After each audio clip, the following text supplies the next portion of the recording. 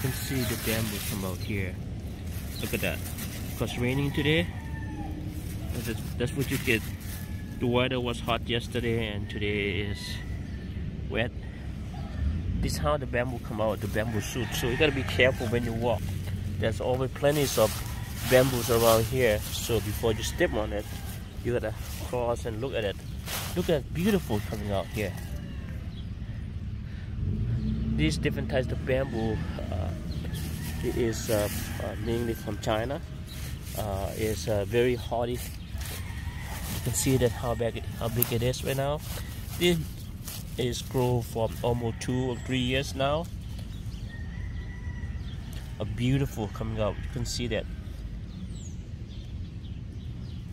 This is how the bamboo is coming out. In um, uh, right now it's March 14. You can see beautiful coming out from the ground.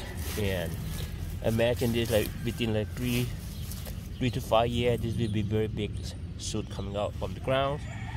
So from the ground that right there you can see that beautiful. See that come out very beautiful. And this is how you protect and grow bamboos